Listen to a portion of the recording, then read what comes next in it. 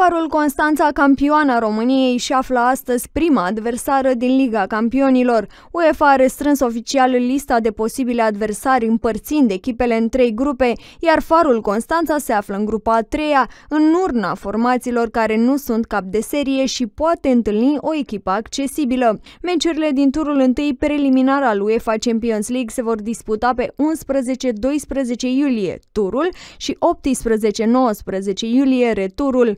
Tragerea la sorți începe la ora 15 la Nion, acolo unde va fi prezent și directorul sportiv al Farului, Zoltan Iașco.